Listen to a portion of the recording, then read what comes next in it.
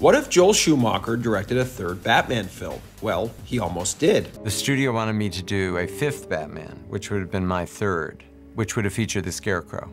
Not only was a script written, but the movie was being cast too, with Jack Nicholson even returning as the Joker. And despite Batman and Robin's campiness, this film would have returned to a much more serious tone, with Schumacher looking to tie up all of the films, including Tim Burton's, and bring the Batman saga full circle. So let's dive in and find out what went wrong and what could have been Batman Unchained. After Batman Returns disappointed at the box office and was deemed too dark by parents, some parents contend that Batman Returns, which is rated PG 13, is actually being marketed for younger children, and the movie is just too violent. Joel Schumacher was brought in to take over from Tim Burton and lighten the tone of the series so that the film would appeal to a wider, more family friendly audience and thus make more money. For a take, Joel would pick up his megaphone, his bullhorn, and go, Remember, everybody, it's a cartoon. And it worked, as Batman Forever outgrossed its predecessor and was devoid of any of the controversy that plagued Batman Returns. Warner Brothers, relieved that they had righted the ship, quickly greenlit a sequel and rushed it into production, hoping to milk this cash cow for all it was worth. In Batman and Robin,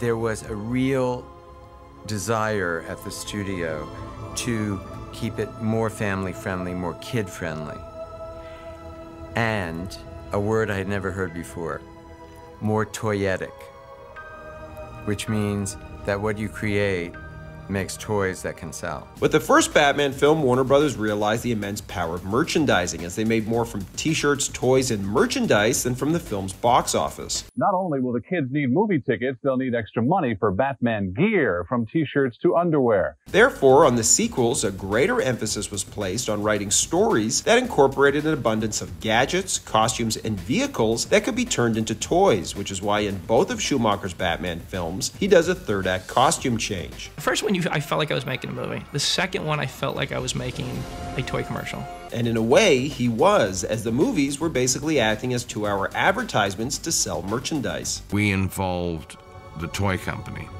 We let them look and be involved in how the Batmobile was going to look, how uh, Batman's gadgets were going to be. Before Batman and Robin was even finished, the studio was looking to make another one, impressed by the footage being shot. Schumacher, realizing with Batman and Robin that the franchise was starting to spin out of control, also worried that it was disappointing a lot of the older fans by making his Batman films too family friendly, and felt he owed the hardcore fans the Batman movie he would love to give them. As a result, for the fifth film, he had an idea that was not only darker and less campy, but would also wrap up the series. Schumacher envisioned a psychologically complex take on the character, something he wanted to explore on both Batman Forever and Batman and Robin before getting pushback from the studio and ultimately settling for making the lighter films we got. Writer Akiva Goldsman, who worked on the previous two Batman films, turned down the chance to return. So Schumacher turned to Mark Protosevich, who had recently written a draft of I Am Legend. After he met with Schumacher, who pitched his vision for pushing the franchise in a more serious direction, Protosevich locked himself away to slave over the script. Titled Batman Unchained, although often incorrectly referred to by fans online as Batman Triumphant, the script dealt with Batman learning to conquer fear while confronting the demons of his past. So, who would have been the villains? Well, we almost got a glimpse of one of them in Batman and Robin, as Schumacher envisioned a cameo appearance to set them up for Batman Unchained. And this villain would have been Scarecrow, to be played by Nicolas Cage, whose sometimes unhinged performances would seem to make him a perfect fit for a Batman villain. Schumacher even went so far as to meet with Cage on the Face Off set to ask him to briefly appear in Batman and Robin, which obviously never happened.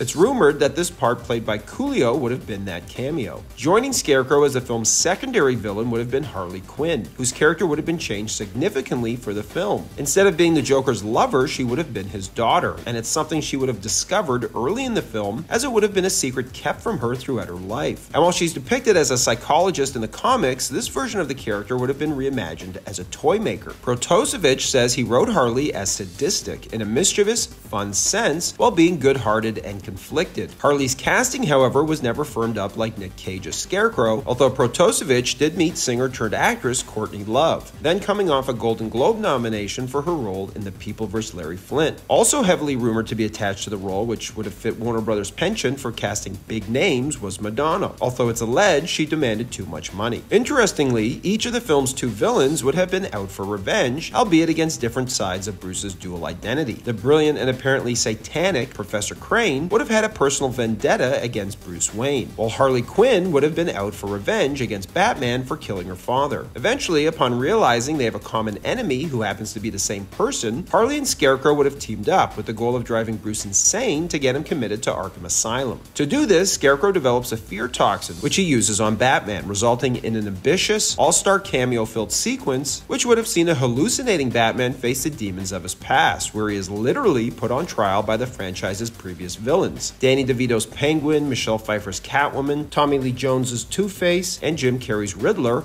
all would have shown up, culminating in a final confrontation with the clown prince of crime, Jack Nicholson's Joker. Fear and guilt would have been the primary themes in the film, with Batman having to finally face the consequences of his past actions, particularly regarding the death of Napier and its impact on his daughter, Harley Quinn, which he would feel enormous guilt over. Schumacher's goal was to tie up all of the films, including Tim Burton's, building up to this moment. However, I'm curious how this would have played out, considering all of the villains that would have appeared in this hallucination were antagonists of both Keaton and Kilmer and never met or interacted with Clooney's Batman, who would have returned to play the Cape Crusader. I can't imagine George Clooney coming face to face with Nicholson's Joker would have had the effect Schumacher was looking for, which frankly only would have worked if Bruce was played by Keaton. And while I appreciate that Schumacher wanted to bridge and tie up all of the Batman films, it always felt like his Batman films were a soft reboot and didn't really take place in the same timeline or universe as Burton's films. Spoiler alert, but this was further reinforced with both Keaton and Clooney appearing separately in The Flash. Chris O'Donnell's Robin would have returned as well, but Alicia Silverstone's Batgirl was not in the script, with her character being written out, having gone back to college. And while Batman and Robin's antagonistic relationship was explored in Batman and Robin, it would have reached a boiling point in Batman Unchained, as we would have seen the boy Wonder end their partnership at one point in the film before returning during the final battle to help his mentor. Bruce's fear of bats would have been explored as well, with them haunting him in his hallucinations. After defeating the bad guys and his demons, Bruce would have traveled to Bali, where Protosevich read in real life monks enter a cave full of bats to show they have conquered fear. The film would have ended with Bruce entering the cave as bats swarm him, demonstrating that he had conquered his fears following his battle with Scarecrow. So what went wrong? Well, as Protosevich was finishing up his first draft, Batman and Robin hit theaters. Boy, was I shocked by the new Batman movie. It's so overproduced. Uh, I didn't like it either, Gene, although I guess I liked it a little more than you did. I would give it two stars. How many would you Uh, give that's it? exactly what I'm giving, Roger. Okay, fine. Not only was it critically panned, but it failed to outgross any of its predecessors at the box office, with many wondering if it would have performed better had it not been rushed to theaters so soon after Batman Forever, a mistake they were on the verge of making again. To start one up as soon as we did was really soon, I thought.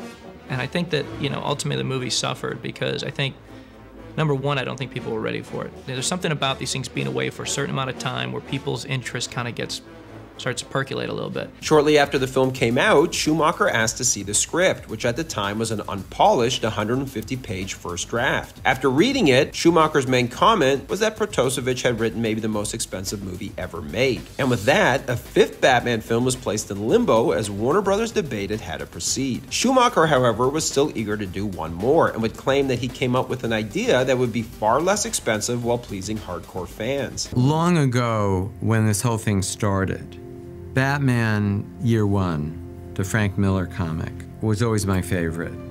And I was always hoping that I would do that one. Schumacher was originally hired to rescue the franchise after Warner Brothers felt Tim Burton had fumbled the bag with Batman Returns. And while Schumacher achieved initial success with Batman Forever, ironically, he would end up leaving the franchise in a worse place than how he found it. Are the nipples still there? Of course, it's a Joel Schumacher film. Everybody has nipples. As Batman and Robin is widely regarded as one of the worst superhero films ever made. However, its impact is undeniable, as Marvel Studios president Kevin Feige would call it maybe the most important comic book film ever made, and that it was so bad that it demanded a new way of doing things and paved the way for adaptations like Blade, X Men, and Spider Man that took themselves more seriously and showed greater respect for their source material. It's also interesting how some of these ideas in Protosevich's script ended up in Batman Begins several years later. Thanks for watching, everybody, and don't forget to like and subscribe to Bullets and Blockbusters for more great content.